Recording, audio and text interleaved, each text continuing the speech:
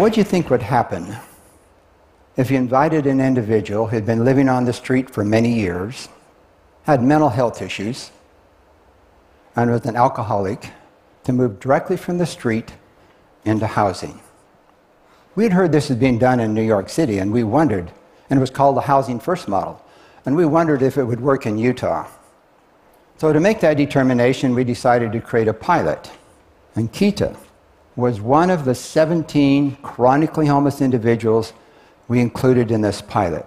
She had been on the street for 20 plus years, had mental health, and was a severe alcoholic.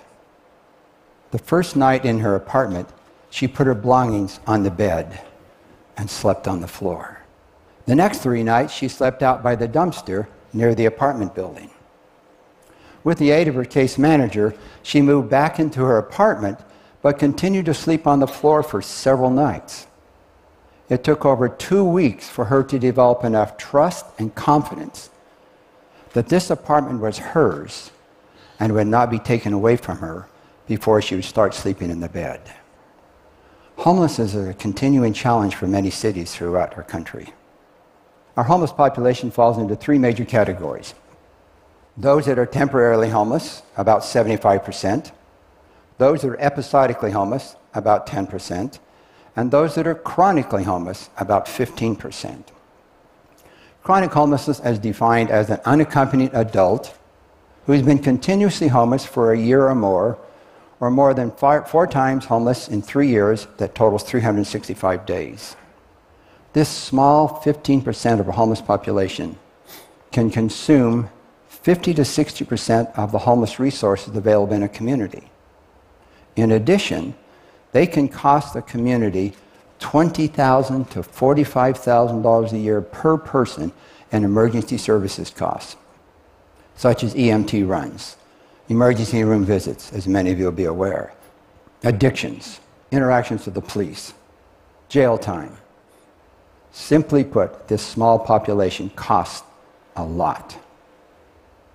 Based on this reality, the US government began an initiative in 2003 inviting states and cities and counties to develop a plan to end chronic homelessness in a 10 year period. The state of Utah accepted this invitation, and I was asked to lead this effort. In 2005, we approved a 10 year plan, and 10 years later, in 2015, we reported a reduction in our chronic homeless population of 91% statewide.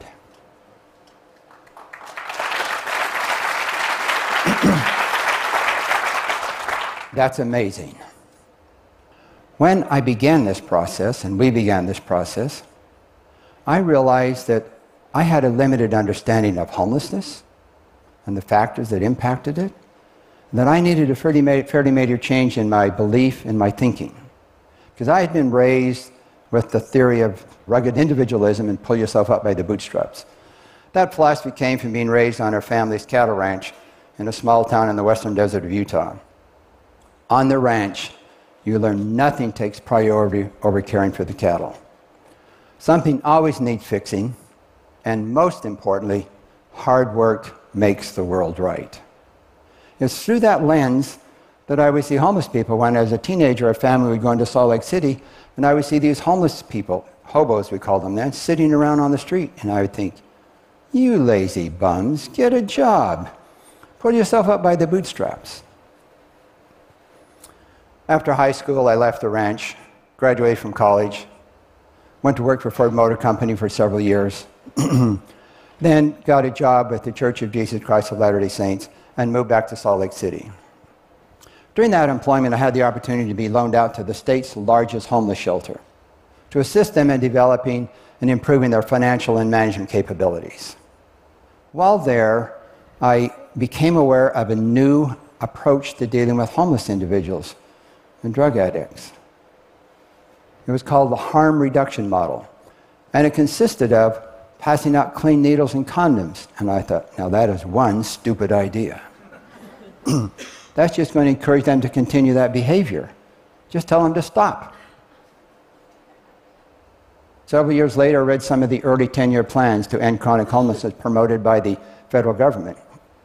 So I read through those plans, I thought, This is unrealistic. You can't end homelessness. There's too many personal choices and factors beyond our control. My perspective changed, however, when I attended a conference in 2003 where I learned the reason behind the 10 year plan. First was this small population of the homeless group that was 15% and were very expensive. That made sense for a conservative state like Utah. Second insight was learning about this housing first, or low barrier housing. There had been an agency in New York City that had been inviting mentally ill homeless individuals to move directly from the street into housing. And they were also allowed to continue to use drugs and to drink, just like we can in our homes. They were, in addition, offered services, not required to use them, by on site case managers to assist them to adjust to the new living arrangements and to stabilize their lives. They were using the harm reduction model. And despite my initial low expectations about hearing about this model, they were having an astonishing success rate of 85% were still housed after 12 months. The third insight was the importance of developing a trusting relationship. Because of the abuse these individuals have had throughout most of their life, they hardly trust anybody. And that clean needles and condoms and low barrier housing was a means to begin to develop a relationship of trust. Vital. So as I flew home from this conference, sitting in the plane looking out the window, I realized my understanding and perspective about homelessness was shifting. As I stared out that window, this very strong feeling and thought came to me that if there's any state in the Union that could end chronic homelessness, it was the state of Utah.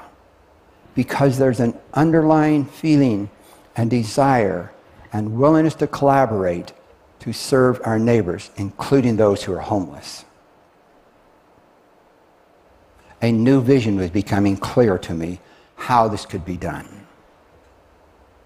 Now, those of us that attended the conference said, yeah, these models will work in Utah. But when we got back home, there were many said, nah, those aren't going to work. They, they won't succeed here. But there was, however, an affordable housing organization who was willing to build our first 100 units. But they had concerns about having 100 chronically homeless people in one location. So, to address that concern, we decided to create a pilot to test that idea while we built the first 100 units and we'd use existing units scattered throughout Salt Lake City. Then we debated okay, should we select fairly high functioning homeless persons or the most challenging ones we could find?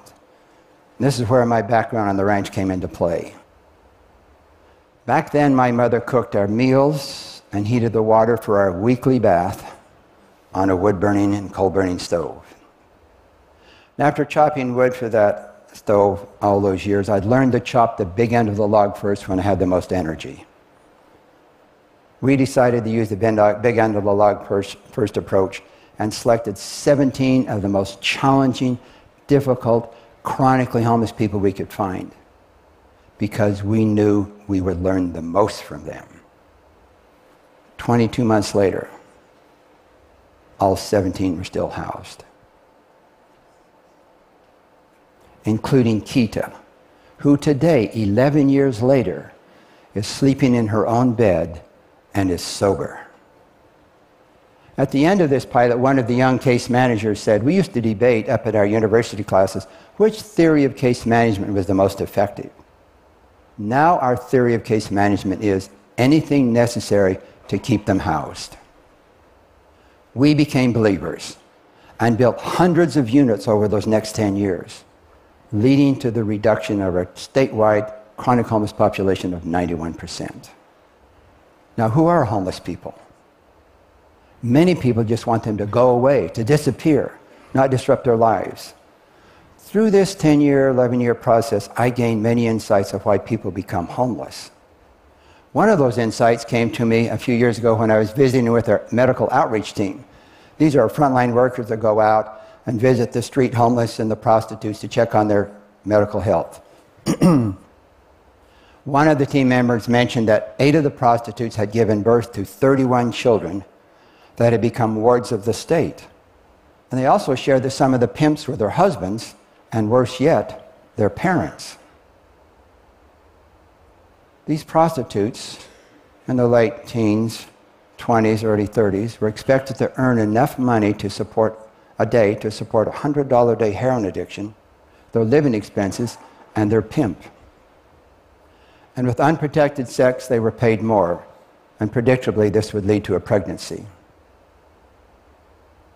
Children born under these circumstances many times end up becoming homeless. And it's not helpful to look at those born under those circumstances, or a parent that makes a child a drug addict at age seven, or a generation of babies born with a drug addiction, and not feel some despair. For me, I believe every person is of value, no matter who you are. And it's not helpful to look at somebody with this start in life and blame them for where they are.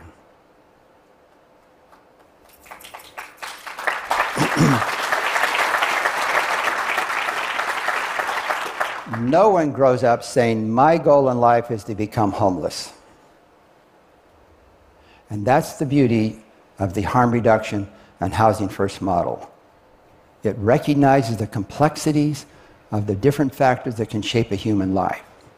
These models meet people where they are, not where we are or where we think they should be. The pilot we did with our 17 taught us many lessons.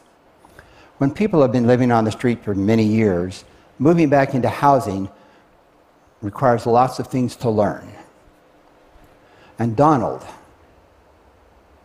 taught us some of these transition lessons. His case manager asked him why he had not turned up the heat in his cold apartment. Donald said, How do you do that? He was shown how to use a thermostat. The case manager also observed that he was heating the beans in the can on the stove like he had done over the campfires for many years. He was shown how to use pots and pans. We also learned that he had a sister that he had not seen in 25 years who thought he was dead. She was happy to learn otherwise, and they were soon reconnected. Hundreds of people like Keita and Donald are now housed and reconnecting with their families. And also, many of our communities are incurring fewer emergency services costs. I have learned over and over again that when you listen to somebody's story with an open heart, walk in their shoes with them, you can't help but love and care for them and want to serve them. This is what, why I'm committed to continuing to bring hope and support to our homeless citizens, who I consider to, me, my, to be my brothers and sisters. Thank you.